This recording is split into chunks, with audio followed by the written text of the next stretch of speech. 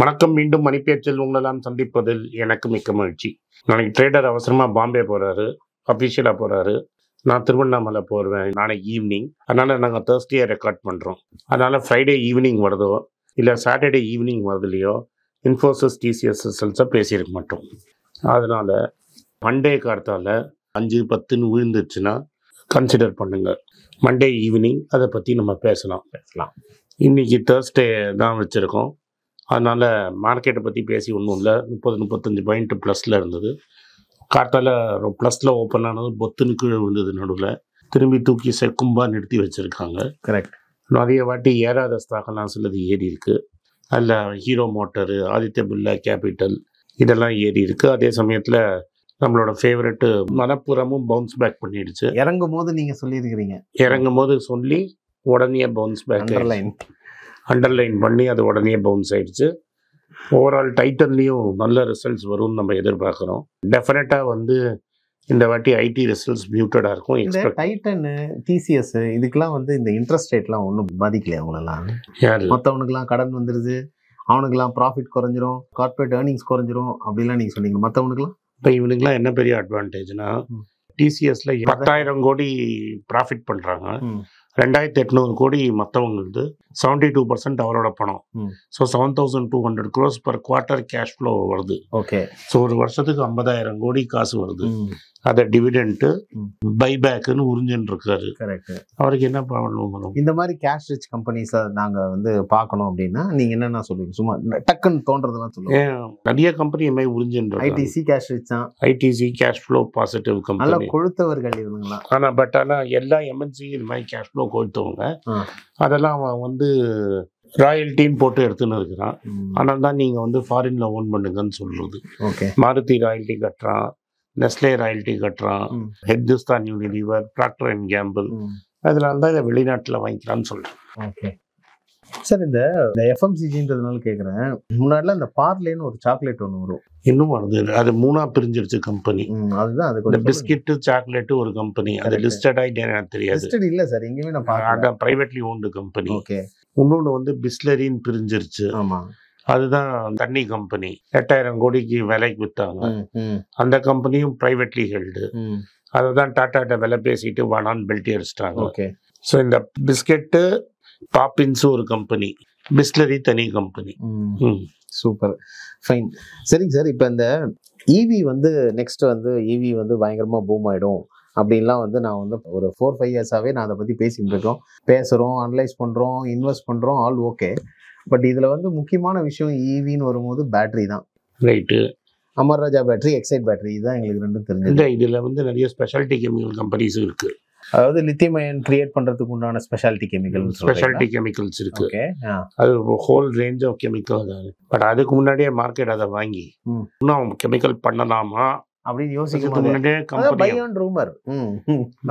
அது வாங்கி போட்டு அதெல்லாம் ரொம்ப ஹையா இருக்கு. பண்ணக்கூடிய கம்பெனில ம். சீப்பா இருக்கிறது ஒண்ணே ஒண்ணு வந்து டாடா கெமிக்கல்ஸ் தான். அதை பத்தி நான் பேசிட்டு தானே மற்ற. கம்பெனி எல்லாமும் இருக்கு பஸ் டாடா தான் அப்படின்னு சொல்லாதீங்க. இருங்க வரேன்.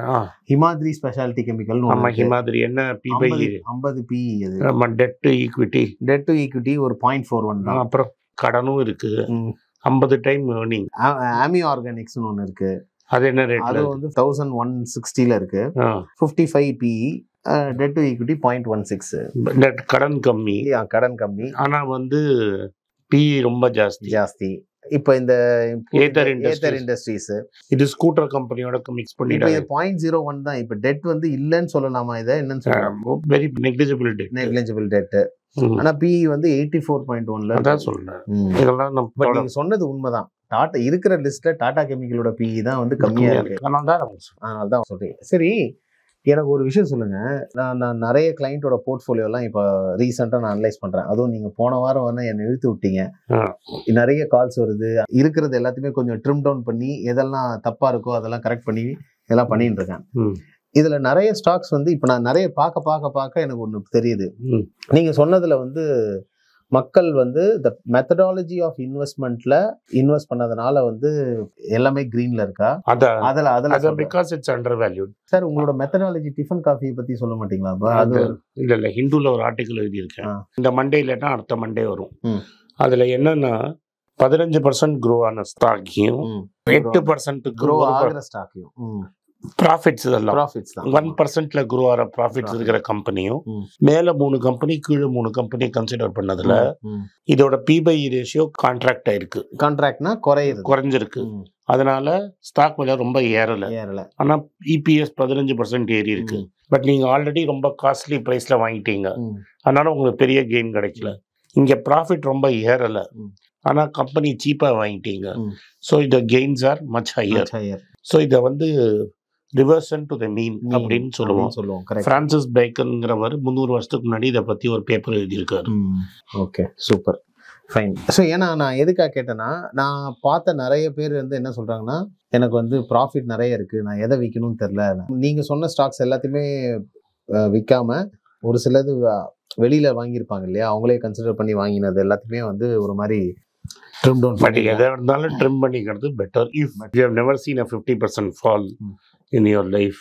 கொஞ்சம் ட்ரிம் பண்றது பெட்டர் மணி பேச்சு வியூவர்ஸ் எல்லாருமே வந்து பார்த்தீங்கன்னா இன்னும் அந்த ஃபாலை பார்க்கல. நாட் எவ்ரிபடி ஸோ இதில் எக்ஸ்பீரியன்ஸ்டு இன்வெஸ்டர்ஸும் இருப்பாங்க வியூ பண்ணுவாங்க. பட் புதுசாக வந்தவங்க எல்லாருமே வந்து பார்த்தீங்கன்னா இன்னும் அந்த ஃபாலை பார்க்கல. அந்த அந்த அது என்ன சொல்கிறது அந்த ரணகலத்தை பார்க்கல.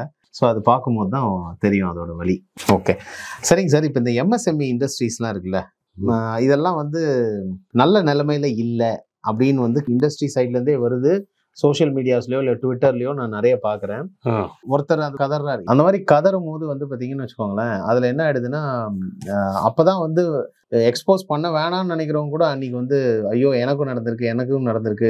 நீ எனக்கும் ஆகுது எனக்கும் ஆகுது. அப்படிங்கிற மாதிரி நிறைய பேர் வராங்க. பட் உண்மையிலே வந்து ஸ்ட்ரகிள் பண்றாங்களா? ஏன்னா ரெகுலேஷன் அப்படிங்கிறது எப்போதுமே இருக்க தான் செய்யும் ரெகுலேஷன் இப்போ நீங்க ஸ்டாக் மார்க்கெட் கூட எடுத்தீங்கன்னா it is very strict regulations இப்ப நான் ஒண்ணு சொல்லட்டுமா. இப்ப இருக்கிற அரசாங்கம்.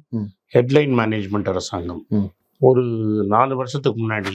ஈஸ் ஆஃப் டூயிங் பிஸ்னஸ்ல ஒரே நாள்ல கம்பெனி ரெஜிஸ்டர் இப்ப எனக்கு தெரிஞ்ச ஒருத்தர் ஒரு கம்பெனி ரெஜிஸ்டர் பண்றதுக்கு மெட்ராஸ்லயே இருக்கிற பெரிய கம்பெனி செக்ரட்டரியிட போனாரு.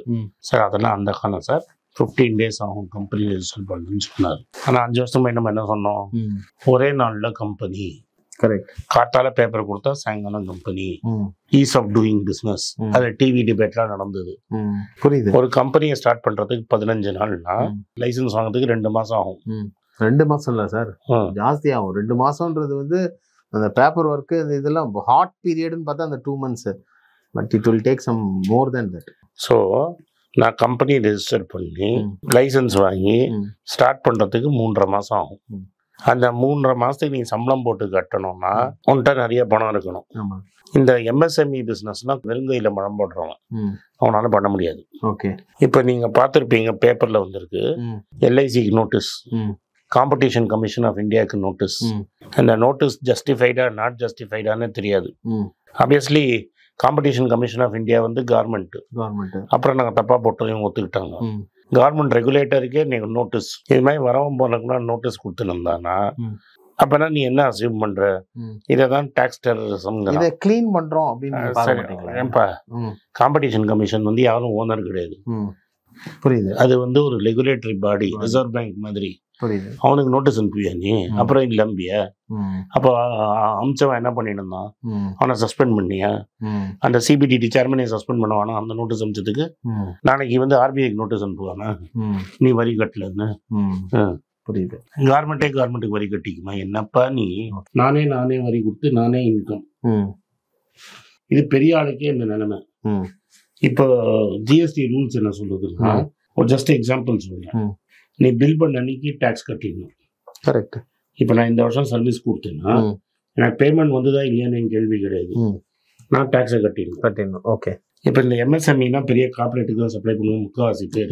சின்ன சின்ன பார்ட்ஸ் ரெடி பண்ணுவான். இதனால தான் நீ பார்த்தேன்னா நான் பி டு சி தான் வாங்குவேன். பி டு பி கையே பி வைக்க டு பி கையே வைக்க முடியாது இந்த பாயிண்ட்டை முக்கியமா நோட் பண்ணணும். ஆனந்த் ஸ்ரீனிவாசன் பி டு சியை தான் பாக்குறாரு பி டு பியை பார்க்கல லிஸ்ட்ல பி டு பியே இருக்காது. இல்ல. நீ எவ்வளவு புஷ் பண்ணணும்னா பி டு பி போக மாட்டேன். ஏன்னா இதுல என்ன புத்துல என்ன பாம்பு இருக்குன்னு இப்போ தான் எக்ஸ்பிளனேஷன் இப்போ நான் டாடா மோட்டார்ஸ்க்கே சப்ளையர்னு சொல்லுவேன் டாடா மோட்டார்ஸ் ஆறு மாசம் கழிச்சு தான் எனக்கு பேமெண்ட் தருவோம். கரெக்ட் நான் பத்து லட்ச ரூபா பில் போட்டேன். என் லாபம் அதில் ஒரு லட்ச ரூபா தான் இருக்கும். கரெக்ட் அந்த ஒரு லட்சத்துக்கு வேணா நான் டேக்ஸ் கட்ட சொல்லலாம் நீ என்ன பண்ணுவேன் எனக்கு அந்த பத்து லட்சத்துக்கும் டேக்ஸ் கட்டணும்னா ம். டாடா மோட்டார்ஸ் எனக்கு எப்போ பேமெண்ட் கொடுப்பான் ten lakhs plus eighteen percent GST நான் போட்டேன்னா. லெவன் லேக் எயிட்டி தௌசண்ட் நான் கட்டணும். அவன் எனக்கு ஆறு மாதம் கழிச்சு பேமெண்ட் கொடுப்பான். நான் என் ஒம்பது லட்ச ரூபாய்க்கு மட்டும் நான் ஃபைனான்ஸ் வாங்கல. இந்த கார்மெண்ட்டுக்கு டேக்ஸ் வாங்குறேன் அதுக்கும் ஃபைனான்ஸ் வாங்குறீங்க. அதுக்கும் ஃபைனான்ஸ் வாங்கி வட்டி கட்டிடுவேன் பேமெண்ட் பண்றதுக்கே ஓகே நான் பேமெண்ட் பண்ணி தானே ப்ராஃபிட் தான் பத்து பர்சன்ட் வேல்யூ ஆட் ஜாஸ்தியா இருக்கும். கரெக்ட் இப்போ ஆறு மாசம்னு வச்சுக்கோ. ம்.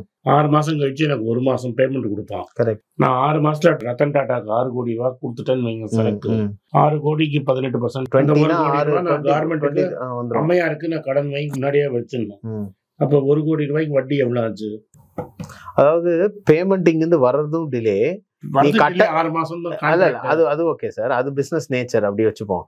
பட் நீ கட்ட வேண்டியதையும் வந்து சீக்கிரமா கட்டிடணும். ஜிஎஸ்டியை ஃபர்ஸ்ட் டே கட்டிடணும்.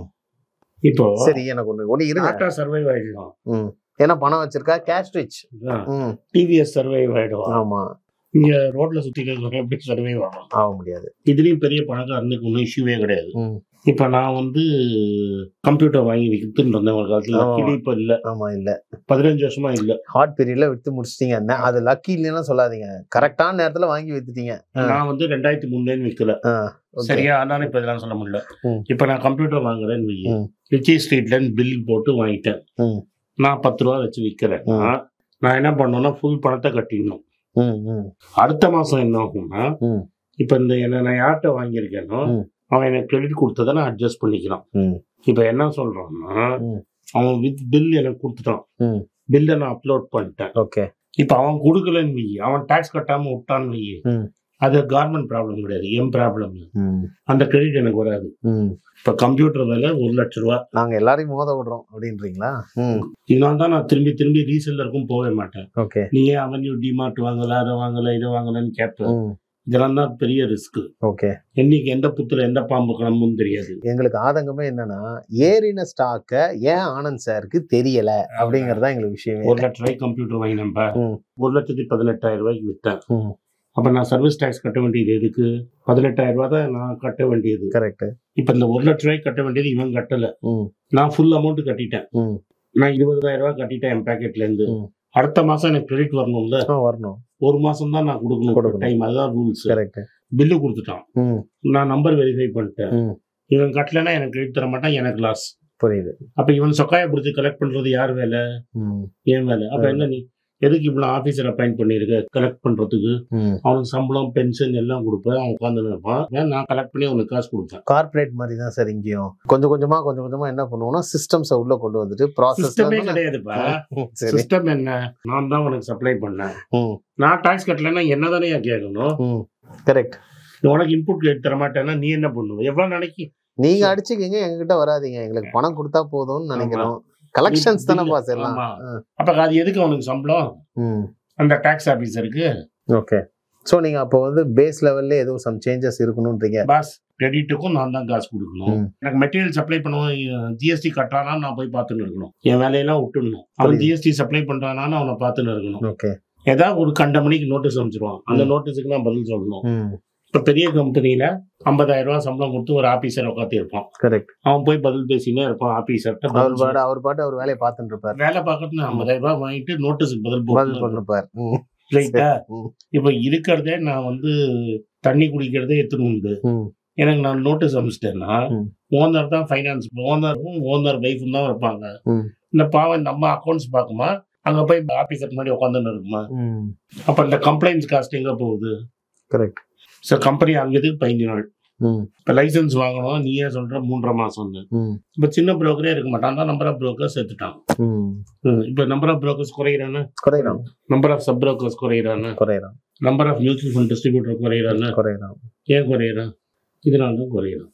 இப்ப நான் அட்வைசர் இல்லைங்கிற ம். சத்தியமா ஆக மாட்டேன் நான் அட்வைசர் ஆகணும்னா? ஆமா நீங்க அட்வைஸ் பண்றது இல்ல வெறும் கன்சிடர் தான்.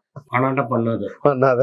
பெஸ்ட் வேற ஏதாவது அட்வைசர் போய் பிடிச்சிக்கோ. சரி. ஏன் அட்வைசர் ஆகணும்னு வையே. ம். முதல்ல எம்பிஏ படிக்கணும். ஆமா. ஐம்பத்தஞ்சு வயசுல என்னால எம்பிஏ எல்லாம் படிக்க முடியாது. கஷ்டம். ரைட்டா ம். எம்பிஏ படிச்சு ஒரு எக்ஸாம் எழுதணும். சரியா? எம்பிஏ இல்லைனாலும் எக்ஸாம் எழுதி பாஸ் பண்ணாலும் நாட் சர்டிஃபைடு ஸோ எம்பிஏ படிச்ச பையனை ஒருத்தனை சம்பளத்துக்கு வைக்கணும். அவன் எக்ஸாம் பாஸ் பண்ணணும். அவனுக்கு வந்து ரெஜிஸ்டர்ட் இன்வெஸ்டர்னு அஞ்சு லட்ச ரூபாய் ஃபீஸ் கட்டணும். எவ்வளோ கட்டணும்? அஞ்சு லட்ச ரூபா. அப்புறம் நெட்ஒர்த்து காட்டணும். நான் ஓடி போயிட்டேன்னா. எனக்கு நெட்ஒர்த்து காட்டணும். கரெக்ட் இவன் ஷேர்ஸ்லாம் நான் ஹேண்டிலே பண்ண போறது இல்ல கரெக்ட் இருந்தாலும் நான் நெட்ஒர்த் காட்டணும். காட்டணும். நான் ஃபீஸ் கட்டணும். நான் நெட்ஒர்த் காட்டணும். அதுக்கப்புறம் நான் என்ன பண்ணணும்னா இது ஒரு லிமிட் இருக்கு. எனக்கு ரூல்ஸ் தெரியாது. நான் மேனேஜ் பண்றதுல ரெண்டு பர்சன்ட் தான் ஃபீஸ் வாங்க முடியும். அதுலயும் மேக்ஸிமம் ஃபீ இருபதாயிரம் ரூபாய் தான் ஒரு ஆள்கிட்ட நான் இருபதாயிரம் ரூபாய் வாங்கி. மெட்ராஸ்ல நான் ஆஃபீஸ் போட்டேன் ம். எனக்கு இரநூறு கிளைண்டாவது இருக்கணும். இரநூறு இன்ட்டு இருபதாயிரம்ங்கிறதுக்கு நான் ஃபீஸ் கலெக்ட் பண்றதுக்கு. ஆட்கள் எவ்வளோ போடணும்? ஃபோனுக்கு பதில் போடணும். நான் வாங்கின ஸ்டாக் இறங்கிடுச்சுன்னா எனக்கு எவ்வளோ பேர் ஃபோன் அடிப்பான்? கேமா கேட்போம்ல கேட்பல அப்ப இங்க இருக்கவே மாட்டார்ல நீ? கரெக்ட் அதனால இப்ப என்ன பண்ணிட்டாங்கன்னா எவனுமே registered investor adviser I am just நம்ம ஊர்ல ஏன் ஆர்ஐஏ குறையறதுன்னு உனக்கு காட்டுறேன் நான். புரியுது. மத்த ஃபீல்டெல்லாம் விட்டுரு. உன் ஃபீல்ட்ல புரோக்கர் குறையுது சப் புரோக்கர் குறையுது. ஆர்ஐஏ குறைஞ்சிடுச்சு ம். மியூச்சுவல் ஃபண்ட் டிஸ்ட்ரிபியூட் பண்றவங்க குறைஞ்சனே இருக்கிறான் கரெக்ட் ஏன்னா எல்லாத்தையும் ரெஸ்ட்ரிக்ட் பண்ணிட்டியா? ரெஸ்ட்ரிக்ட் பண்ணி எல்லாமே டைரக்ட் கொண்டு போறோம். டைரக்ட் கொண்டு போனா கூட பரவாயில்லப்பா. இப்ப என்ன பேங்க்குக்கு அந்த ரூல்ஸ் இருக்கா? இல்ல. இருக்கிற மேக்ஸிமம் இன்சூரன்ஸ் சேல்ஸ் தப்பா பண்றது எல்லாமே பேங்க் தான். நீ யூடியூப்ல போய் பாரு. மிஸ் செல்லிங் லைஃப் இன்சூரன்ஸ் ப்ராடக்ட்ஸ்னு பாருங்க. ம். எவ்வளவு பேங்க் இது வருது எவ்வளவு இண்டிவிஜுவல் ஏஜென்ட் வருதுன்னு பாரு. நீ பேங்கை ஃப்ரீயா விட்டுட்டு. இண்டிவிஜுவல் ஏஜென்ட்டை துரத்தின்னு இருக்கிற.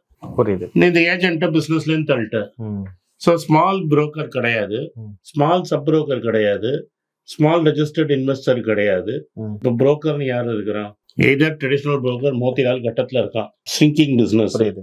மங்காத்தா புரோக்கர் ஒரு மூணு நாலு பேர் திறந்து வச்சிருக்கான். கரெக்ட் இல்லாட்டா ICICI HDFC axis bank so எங்களுக்கு ரெகுலேஷன் பார்க்கும்போது எங்களுக்கு கொஞ்சம் ஈஸியா இருக்கு. நாலஞ்சு பேர் தான் டக்கு டக்கு ஸ்மால் கால் என்ன ஆகும்? போக வேண்டியதுதான். வேற என்ன? ஆ? அவ்வளவுதான். ரைட்டு அதான். இப்ப நீ வந்து இந்த இண்டஸ்ட்ரியில் எவ்வளவு வருஷமா இருக்கிற? டுவெண்ட்டி த்ரீ இயர்ஸ் நீ சொல்லு ஆனஸ்டா பேசு. நீ புரோக்கர் இல்ல இப்போ எவ்வளவு brokerage வரும்னு கணக்கு போட்டு ட்ரேட் பண்ண வைப்பானா. இல்ல ஜெனியன் அட்வைஸ் கொடுப்பாங்க. உண்மையா சொல்லு. என் மைண்ட்ல ஒர்க் பண்ணும்போது வந்து கம்பெனிக்காக உழைக்கணும் அப்படின்னு. கம்பெனிக்கு எப்படி உழைப்பேன்? அவங்கள புஷ் பண்ணுவேன். நல்லா இன்வெஸ்ட் பண்ணணும் அப்படின்னு புஷ் பண்ணுவோம். வெய் ராஜா இது மூணு இப்படி திருப்பிடுவான். வெய் ராஜா வெய் ராஜா வெய். ம், வெய் ராஜா வெய் ராஜா வெய் ராஜா வெய். ம். சார். அதெல்லாம் அந்த காலம் sir fifteen years back sir அதெல்லாம் இப்ப இவன் என்ன பண்ணின்னு இருக்கிறான். அப்ப ஏன் செபி சொல்றது. நீ ஃபியூச்சருக்கு ஆன் பண்றதுக்கு முன்னாடி ரீட் திஸ் ஆமா. நோட்டிபிகேஷன் அதை நீ கிளிக் பண்ணாதான் ஆப்ஷன்ஸை ட்ரேட் பண்ண முடியும் correct sir they have to understand the risk but options பண்றவங்களுக்கு வந்துரும் சார் படிச்சிருவாங்க சோ இதுல பத்துல ஒன்பது பேர் அப்படி பார்த்தா கேஒய்சி டாக்குமெண்ட் பண்ணும்போதே there is something call risk disclosure document அதெல்லாம். வந்து ஆமா ஆனா ஆக்சுவலா. இப்ப நான் சொல்றேன். அந்த கம்பெனி இன்னும் இருக்கு. அது இண்டஸ்இன் பேங்க் வாங்கிட்டான். சரி. நான் அந்த புரோக்கர்ட்ட தான் ஃபர்ஸ்ட் தொழில் கத்துக்கிட்டேன். ஷேர்னா என்ன? ஹவு இட் இஸ் ஒர்க்கிங் அப்படிலாம் கத்துக்கிட்டீங்க. பதினெட்டு வயசு எனக்கு அப்போ. சரி. எங்க அப்பா சவுதியில இருந்து ஆர்டர் சொல்லுவாரு. அந்த ஆர்டர் அந்த அங்கிள்கிட்ட சொல்லணும். அப்புறம் அந்த அங்கிள் அந்த ஆர்டர் பண்ண அப்புறம் செக் எடுத்துட்டு போய் அந்த அங்கிள்கிட்ட கொடுக்கணும். கொடுக்கணும். அப்போ ரெண்டு நாள் கழிச்சு பேப்பர் கொடுக்கணும். கரெக்ட் அவர் டிரான்ஸ்பரண்டா சொல்லுவாரு. Two point five percent commission. விலையில ரெண்டு ரூபா போட்டுக்கிறேன் பாம்பாரு நூத்தி ஆறு ரூபா நூத்தி எட்டு ரூபா. ஆமா சார் அன்னைக்கு வந்து உங்களுக்கு Open டேட்டா பார்க்க முடியாது. அவரே ஓப்பனா சொல்லிடுவார்ல நூத்தி ஆறு தான் இருக்கு. ஹைல பையிங் லோல செல்லிங் அப்படி. அப்படி சொல்லாம சொல்லிடுவாரு. ஓகே எனக்கு ஒரு ரூபா வேணும்ன்றாரு நூறு ஷேர் வாங்கினா ஒரு லட்ச ரூபாய்க்கு செக் கொடுக்கணும். இந்த ஒரு லட்ச ரூபாய் செக் கொடுத்தாங்கன்னா அவருக்கு ஐயாயிரம் ரூபா இருக்கும் அதுல. புரியுது. But our very highly qualified chartered accountant எந்த ஷேர் வாங்கணும் எனக்கு சொல்லி கொடுத்தாருல புரியுது. அது நான் மாமனார் ஃபீஸ் கொடுக்க வேணாமாண்ணா கண்டிப்பா கொடுக்கணும். நான் ஐம்பது பைசா கொடுப்பேன்னா ஒரு லட்ச ரூபாய் ஐநூறு ரூபா கொடுத்தா அவர் வந்து உட்காந்துட்டு இருப்பாரு பண்ண மாட்டார். அன்னைக்கு அவருக்கு சம்பளம் அறுபதாயிரம் ரூபா இருந்திருக்கும் நான் சொல்றது எப்போ? நைன்டீன் எயிட்டிஸ் நாற்பதாயிரம் ரூபா முப்பதாயிரம் ரூபாய்லாம் வரமாட்டாரு அவரு. புரியுது.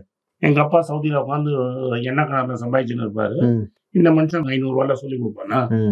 எனக்கு ஒண்ணு இது- இது ஒண்ணு மட்டும் கேட்டுறேன். அவர் சொல்லி கொடுத்து தான் நீங்க கத்துக்கிட்டீங்கன்னா இல்ல நீங்களே உங்க திறமையில அதிகமா இது கத்துக்கிட்டீங்க? இதுல ரெண்டுத்துல எது? எனக்கு என்னன்னா ம். தலால் ஸ்ட்ரீட் அக்கௌண்ட்ஸ் பிபை ரேஷியோனா என்ன. புக் வேல்யூனா என்னன்னு சொல்லி கொடுத்தாரு. ஓகே. அதுக்கப்புறம் நாங்க கோடு போட்டா ரோடு போட்டுக்கிட்டோம். கரெக்ட் அவர் லக்ஷ்மி எல்இசிஎஸ்னு ஒரு கம்பெனி வாங்கினாரு. அதை நான் வந்து ஃபாலும் போது அது நல்ல விலையில இருந்தது. அதை வித்து ரெண்டு ரூபாய்க்கு சத்தியம் வாங்கி டெக் மஹிந்திராவை மாத்திக்கிட்டேன். முப்பத்தஞ்சு வருஷம் இந்த ஸ்டாக் வச்சிருந்தேன். அவர் கொடுத்த ரிலையன்ஸ் என்கிட்ட இன்னும் இருக்கு. இருக்கு. எனக்கு எவ்வளவு போனஸ் வந்துருச்சு. கரெக்ட் எவ்வளவு வந்திருக்கு. இன்னும் டிவிடெண்ட் வாங்கி வாங்கி போட்டுன்னு இருக்கிறேன். அவருக்கு அஞ்சாயிரம் ரூபாய் நீ கொடுத்ததுனால தானே டிவிடெண்ட். போனஸ் ஸ்பிளிட் இதுல வேற ப்ராப்பரா ரைட்ஸ் எல்லாம் வேற அப்ளை பண்ணுவீங்க. ஆமா. ஓஎஃப்எஸ் வேற இதுல. அப்போ அந்த மனுஷன் எனக்கு சொல்லி கொடுத்துருக்கலன்னா இதெல்லாம் எனக்கு வருமா? அது கரெக்ட் அப்ப நான் ஒரு கரெக்டா ஃபீஸ் கொடுத்தா தானே வருவான்? அந்த மனுஷன் பெரிய கார்பரேட்லாம் கிடையாது. Broking partnership company okay owner என்னால பார்க்க முடியும். அதனால பெனி வைஸ் பவுண்ட் ஃபுலிஷ்மோ பெனி வைஸ் ஃபுலிஷ் ஃபுல்லிஷ் அதாவதுன்னா சில்லறையில ரொம்ப கேர்ஃபுல்லா இருக்கும் ரூபாவை கோல் விட்டுருவோம். ஸோ நான் என்ன பார் சொல்றேன்னா. ஒரு ஒரு லட்ச ரூபாய்க்கு நான் ப்ராடக்ட் வாங்கினேன்னு. இன்னைக்கு ஐநூறுரூவா ப்ரோக்கரேஜ் கொடுக்கறதுக்கு முக்கால் எழுத ம். அவன் என்ன பண்ணுவான்? ஒரு லட்சத்து ஐம்பது வாட்டி ரொட்டேட் பண்ண பார்ப்பான். கரெக்ட் அப்போ ஐநூறு இன்ட்டு ஐம்பது கமிஷன் வாங்க அந்த பார்ப்பான் brokerage கம்மியா வாங்குறதுனால தான் வந்து புரோக்கர்ஸ்லாம் வந்து ஓகே குவாலிட்டி ரிலேஷன்ஷிப் மேனேஜர் இருக்கானா நீ? ம். இல்ல. ரொம்ப விரல் விட்டு எண்ணிடலாம். மேஸ் எவ்வளோ புரோக்கிங் ஆஃபீஸில் விஷயம் தெரிஞ்சவன் எம்டியா இருக்கான். நான் விரல விட்டு எண்ணிடுவேன். சார் எம்டிக்கு போயிட்டீங்க? உண்மை அதுதான். ஓகே. இன்னைக்கு என்னாலேயே கண்ணால பார்க்க முடியாது. ஏன்னா நான் புரோக்கிங் இன்கமே தர மாட்டேன்ல புரியுது. அப்ப காமன் மிடில் கிளாஸ் வந்து இது மாதிரி ஆளை பார்க்கவே முடியாது. விஷயம் தெரிஞ்சவனோட நீ பார்க்கவே முடியாது. இந்த டிவியில வர்றது தான் எக்ஸ்பர்ட்னு நம்பிட்டு இருப்ப நீ. அவன் எக்ஸ்பர்ட்டே இருக்க மாட்டான். எக்ஸ்பர்ட் டிவிக்கே வர மாட்டான் புரியுது. ஆனால் தான் நான் பேச ஆரம்பிச்சேன். இப்ப நான் இதே போய் செபியில நின்று ம். சார் அப்படின்னா கிவ் ஃபைவ் லேக்ஸ் புரியுது. Put twenty thousand fee every month submit statement இல்லாட்டா உனக்கு நோட்டீஸ் ஸோ இதனால தான் வந்து இந்த சின்ன சின்ன கம்பெனிஸ்லாம் வந்து வந்து நான் ஏன் எக்ஸ்பிளைன் பண்ணேன்னா this is not only in broking எல்லா இடத்துலயும் எல்லா இடத்துலயும். இப்ப பால் பாக்கெட் கவர் கலெக்ட் பண்ணிட்டு இருந்தது ஞாபகம் இருக்கா? இருக்கு இருக்கு சார் அவனுக்கும் ரிலையன்ஸுக்கும் ஒரே டாக்ஸ் ரெண்டு. பேரும் ஒரே ப்ராடக்ட் பால் பாக்கெட்டை கட் பண்ணிட்டு தண்ணி ஊத்தி குலுக்கி அதுக்கப்புறம் அந்த கவரை சேவ் பண்ணிலாம் வச்சிருக்கு அந்த கதெல்லாம் இருக்கே. அந்த இப்ப விக்கிறது இல்லைன்னு நினைக்கிறேன் ரொம்ப. இப்பெல்லாம் அப்படின்னு அந்த கவரை போட்டு காசு வாங்கி. அதை வந்து ரீப்ராசஸ் பண்ணி பண்றவனும். ரிலையன்ஸும் அதே ப்ராடக்ட் பண்றான். இவனும் அவனும் ஒரே டாக்ஸ்னா எவன் சர்வைவ் ஆவான்? ஸோ இந்த ஹோல் சிஸ்டமே எப்படி கன்ஸ்ட்ரக்ட் பண்ணியிருக்குன்னா ம். இந்த சின்ன பிசினஸ் பண்றவன் இருக்கக்கூடாது. இருக்கக்கூடாது. அவ்வளவுதான். இது அக்ராஸ் இண்டஸ்ட்ரி இருக்கு. அக்ராஸ் இண்டஸ்ட்ரி ஓகே எவ்வளவு புஸ்தக கடை இருக்கு இன்னைக்கு? நோ நான் ஆடிபிளோ இல்ல வந்து. கிண்டலோ தான் போவேன். சரி ஓகே ஃபைன் புரிஞ்சிருச்சு அவனுக்கு புரியுது புரியுது புரியுது சார் இல்ல அது வந்து நீங்க உங்க கோணத்துல எப்படி பாக்குறீங்க அப்படிங்கறது தான் நான் வந்து அதுக்கு தான் இந்த கேள்வியை நான் எழுப்பினேன். எனிவே ஏன் நான் அட்வைசர் இல்லைன்னு உனக்கு புரியுதா? புரியுது புரியுது. இப்ப நான் வேதம் ஓதுறவன் ம். எனக்கு தெரியும் ருத்ரன் சமக்கம். இதெல்லாம் தெரியும். ஒரு நாளைக்கு நான் ருத்ர சமக்கம் சொன்னா எனக்கு ரெண்டாயிரம் ரூபாய். ம். ஆ. புரியுது. காத்தால ஒரு ஸ்லாட் மத்தியானம் ஈவினிங் ஒரு ஸ்லாட் நாலாயிரம் ரூபாய் ம். இருபது நாள்ல எண்பதாயிரம் ரூபாய் எனக்கு நான் பத்து நாள் rest. Twenty days eighty thousand rupees அதான் நீ கோயிங் ரேட் அது காப்பியோட சாப்பாட்டோட எனக்கு கிடைச்சிரும். எவன் வந்து இந்த பிசினஸ் பண்ணுவான்? ஃபைன் அது கொஞ்சம் அப்படி போயிட்டோம். இருங்க வரேன். ஓகே இப்போ கர்நாடகா பேங்க் இருக்குல்ல சார் இந்த கர்நாடகா பேங்க் வந்து ரொம்ப பியூட்டிஃபுல்லா இன்னைக்கு வந்து ஒரு ஏழு பர்சன்ட் ஏறி இருக்கு உங்களுக்கு எதனா ஏதாவது நியூஸ் இருக்கும்? டெஃபினட்டா இருக்கும். மீடியால வந்து நம்ம மீடியால தேடும் ஆனா கர்நாடகா பேங்க் இந்த லெவல் டூ ஃபிஃப்டில கைய வைக்காத அப்படின்னு தான் நீங்க சொன்னீங்க. நான் வைக்காதுன்னு சொல்ல. Even no it is just about book value okay fine Hero ஹோண்டாவும் ஒரு அஞ்சு பர்சன்ட் ஏறி இருக்கு. தெரில பரவாயில்ல. ஆனா வந்து ஆல்ரெடி அந்த ரன் அப்ல இருந்துட்டு தான் இருக்கு. ரைட் ஓகே ஸோ இந்த மணப்புறம் இந்த லெவல்லையும் வந்து நம்ம வந்து கன்சிடர் பண்ணிட்டே இருக்கலாம். நாட்கோ கன்சிடர் பண்ணுங்க. டாக்டர் ரெட்டி கன்சிடர் பண்ணுங்க. ஃபெடரல் பேங்க் கன்சிடர் பண்ணுங்க. இப்ப சொன்ன Tata chemical consider Tata chemical consider பண்ணுங்க நிறைய இருக்கு. நிறைய இருக்கு. ஆனா நான் ஒரு விஷயம் சொல்றேன் சார். நான் வந்து நிறைய கிளைண்ட்ஸ் கிட்ட பேசுறேன். இன்ட்ராக்ட் பண்ற வாட்ஸ்அப்ல ஃபோன் கால்ல எல்லாம் நிறைய இன்ட்ராக்ட் பண்ணும்போது என்ன ஆகுது அப்படின்னா. அவங்க சொல்ற விஷயங்கள் நீங்க எப்படி மைண்ட் செட்டை கிரியேட் பண்ணியிருக்கீங்க அப்படின்னா which is very right market இறங்குனா wait பண்றோம் சார். மார்க்கெட் இறங்குனா வந்து நிறைய வாங்கணும் அப்படின்னு சொல்றவங்க நிறைய பேர் இருக்காங்க. I am so happy for that ஏன்னா மணிப்பேச்சு இல்லாமல் இதுக்கு முன்னாடி இருந்த இதுலலாம் எப்படின்னா மார்க்கெட் ஒரு நூறு பாயிண்ட் இறங்கினாலே எனக்கு பக்குன்னு அடிக்கும்.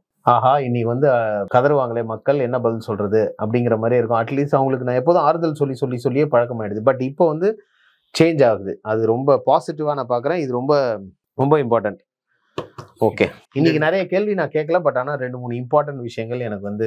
கற்றுக்கிட்டேன் இந்த வீடியோ உங்களுக்கு பிடிச்சிருந்தா இந்த வீடியோ லைக் பண்ணுங்க எங்க சேனலை சப்ஸ்கிரைப் பண்ணுங்க பெல் நோட்டிஃபிகேஷன் தட்டுங்க. இதெல்லாம் நீங்க பண்ணிட்டீங்கன்னா முடிஞ்சா இந்த வீடியோ சொந்தக்காரங்க ஃப்ரெண்ட்ஸுக்கு அனுப்புங்க. ட்ரேடரை என்கரேஜ் பண்ண கமெண்ட்ஸ் போடுங்க. போடுங்க. ஜப்பானுக்கு நான் பேசினதுக்கு முந்நூறு பேர் அனுப்பிச்சிடலாம் அதனால கொஞ்சம் மெதுவா பண்ணுங்க அவசரப்படுத்தாதீங்க. உங்கள் பேராதரவுக்கு மிக்க நன்றி. நான் டோட்டலாக ஐந்து புஸ்தகங்கள் எழுதியிருக்கிறேன். மூணு வந்து ஆங்கிலத்தில் எழுதியிருக்கிறேன். அதில் ரெண்டை வந்து தமிழாக மொழிபெயர்த்திருக்காங்க. ஸோ டோட்டலாக அஞ்சு புஸ்தகம் ஆச்சு. இந்த அஞ்சு புஸ்தகத்துக்கு ஹார்ட் காப்பி வேணும்னா நீங்கள் கீழே இருக்கிற வாட்ஸ்அப் நம்பருக்கு மெசேஜ் அனுப்பிச்சிங்கன்னா எங்கள் டீம் உங்களை காண்டாக்ட் பண்ணுவாங்க. இந்த ஐந்து புஸ்தகங்களில் மூணு புஸ்தகம் வந்து கிண்டலில் இருக்குது அமேசானில் கிண்டலில் வாங்கணும்னு ஃபீல் பண்ணுறவங்க நேராக கிண்டலில் வாங்கிக்கலாம். தமிழ்லேயே யாராவது ஃபைனான்ஸ் நியூஸ் படிக்கணும்னு ஃபீல் பண்ணிங்கன்னா தயவு செஞ்சு மணி பேஜ் டாட் காமை விசிட் பண்ணுங்கள்